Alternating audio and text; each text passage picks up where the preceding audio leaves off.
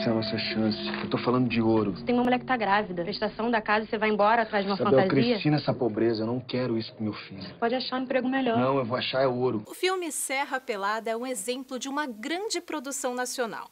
Eu vou bater um papo agora com Heitor Dália, que é referência tanto na produção de filmes publicitários como de longa-metragem, e também com Wagner Moura, que é ator e coprodutor do filme Serra Pelada. Tudo bom? Tudo bem? Tudo bem. Heitor, me conta, esse é o primeiro filme que você está fazendo pela sua produtora. É o seu quinto longa, mas é o primeiro pela Paranoide. É um gostinho especial? Ah, é, né? Porque você tem o controle de todas as etapas do processo de produção, né? No roteiro, na direção, você tem um conforto maior de trabalhar na tua própria produção. E ao mesmo tempo a responsabilidade é maior também, porque o risco financeiro é teu, assim, se, pá, a, a Paranoide é uma produtora que vem se destacando bastante no universo da publicidade, né? A gente foi aí eleito dois anos, a produtora mais premiada do Brasil, Prêmio Caboré. Então foi, foi quatro anos cheio de conquistas, né? E agora a gente está chegando ao cinema, é nosso primeiro trabalho de ficção. E é muito legal que o primeiro seja um filme assim, né? Com certeza. Agora me fala, como surgiu essa ideia de fazer sobre Serra Pelada um filme? Foi o mais difícil que você já fez? Foi, com certeza. Foi o mais difícil que eu já fiz. Acho que vem muito da. Eu acho, no fundo, no fundo, se eu parar a pensar, vem do, da minha adolescência nos anos 80, sabe? Essas imagens me impactaram na época, de alguma maneira eu guardei isso para mim. E anos depois, por um acaso, acessei essa memória emocional e encontrei esse grande, essa grande pipita que é essa Pelada, né? Tipo, é aqueles filmes que precisava ser feito, precisava ser contado, sabe? O cinema brasileiro precisava desse filme porque é um, é um, é um, é um retrato muito marcante na nossa história e o nosso cinema reflete um pouco quem a gente é. Então, assim, como que um evento desse, tão recente na nossa história, tão grandioso, não tinha sido ainda traduzido no cinema, né? Agora, Wagner, como foi fazer esse personagem que você está quase reconhecível no filme e também é, produzir ao lado de Heitor? É, eu acho que uma coisa está bem ligada à outra. Se, se não fosse o produtor do filme, provavelmente não ia parar, não teria ido parar no, fazendo o Lindo Rico, porque a ideia inicial era que eu fizesse o, o Joaquim, depois o Juliano, né? E aí eu, junto com o Heitor, a gente foi, e com a Vera Egito, trabalhando nesse roteiro, eu fui conhecendo muito esses personagens, é, na, na, figura de produtor, e depois, como, quando eu tive que sair do filme por conta de um atraso da, do Serra, uma parada que o Serra deu, que bateu de frente com, com um outro compromisso que eu tinha, eu pedi para fazer o Lindo Rico, porque era um personagem que a gente tinha criado junto ali na minha casa, na necessidade de ter um antagonista mais forte no, no, no final do filme. E eu fui parar ali, foi ótimo, porque eu não saí do filme, fiz um personagem que é divertido, que é importante é, dramaticamente, apesar de ele aparecer pouco, ele tem uma importância grande na história. E foi super divertido. E foi mais uma razão para eu estar ali no set, né, junto com o Heitor. A gente não perder também esse. Heitor é um parceiro muito grande meu, assim, um amigo, um cara que eu quero tá, construir uma parceria cada vez mais, fazer mais filmes juntos e tal. Então. E eu tive, eu fiz o Nina com o Heitor eu apareço numa fotografia no, no cheiro do ralo. É verdade. É, só, eu só, só pulei aí o, o, o Aderiva, mas...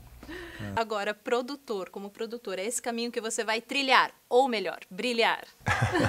é o caminho que eu vou trilhar. Eu, eu, é, eu sempre me interessei por isso, por estar por tá em fazer coisas que transcendessem, transcendessem a, a coisa do intérprete apenas. Né? Eu, tenho feito cinema há muito tempo, então sou um ator rodado já no cinema brasileiro, participei aí dessa retomada do cinema, então me sinto mesmo confiante e acho que mesmo que é necessário agora nesse momento para mim é ocupar outros espaços na, na, nessa, na cadeia cinematográfica. Ano que vem eu vou dirigir o meu primeiro filme, então acho que a tendência é essa. Agora, Heitor, me fala um pouquinho sobre o cinema nacional. O cinema nacional tem ganhado muito destaque, mas ainda precisa de investimentos, de recursos. Qual é a sua visão sobre isso? Eu acho assim que o cinema brasileiro é muito rico, né? Ele sempre teve essa diversidade bastante grande de temas e de lugares e que eu acho que agora, né, como a gente vive um momento né, de onde você tem uma expansão das mídias digitais, você disputa, os filmes disputam interesse com a internet, com o Facebook, então está cada vez mais difícil você falar com a audiência, né? Isso mundialmente, né? Eu acho que o cinema brasileiro tem tentado, com sucesso, achar um caminho de diálogo com o público. Acho que é um, um amadurecimento do nosso cinema, né? A gente tem toda uma linha de comédias maravilhosas sendo feitas aí que estão encontrando uma ressonância com o público. E nesse, nesse lado a gente achou uma comunicação. E acho que a gente está buscando por outros lados também, né? Esses filmes maiores, filmes é, relevantes que contem traços da nossa história ou eventos significativos do Brasil é, e, e, que façam esses filmes comunicarem com, com a audiência. Eu acho que a gente está caminhando para uma coisa de, de encontro mesmo do cinema com, com o público brasileiro, assim, tipo, e é bom que isso aconteça.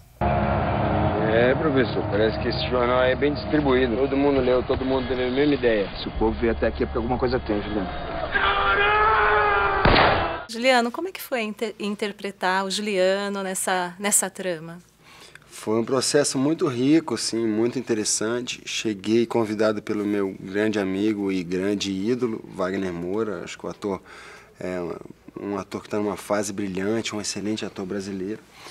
E aí peguei esse personagem que é um presente na carreira de, de, não é toda hora que aparece, que é um personagem que leva o meu próprio nome, o Juliano, um cara complexo que ao mesmo tempo que é carismático e cativante, também é um cara violento, truculento, assim, um personagem muito rico e que tem uma amizade muito grande pelo Joaquim, que é um personagem que foi interpretado por essa fera, esse gênio da raça que é Júlio Andrade. Eu faço o Joaquim, um professor que vai para para Serra Pelada em busca do ouro, para dar uma vida melhor para a família, para o filho, para a filha que recém nasceu. E acaba se enrolando no Serra Pelada, fica cinco anos lá por conta de, de uma amizade que dá uma enfraquecida, mas ao mesmo tempo ela não morre. E ela sustenta, se sustenta durante o filme. 400 gramas. Falou, eu achei que era menos. Pacto de irmão, pacto de irmão. Vai! Pelo amor de Deus, que mulher é aquela? Aqui tá todo mundo em cima do ouro. Mas o problema é saber onde que ele vai brotar. Gente, fizemos esse filme para vocês. Venham pro cinema porque vocês vão gostar. É brasileiro, é filmaço, entendeu? Tem esse craque Júlio Andrade, brilhante, Wagner Moura, irreconhecível, Matheus Nastergalli, Sophie Charlotte, sabe? Todo mundo fez com carinho, fez para vocês. Então, 18 de outubro no cinema Serra Pelada. Venha.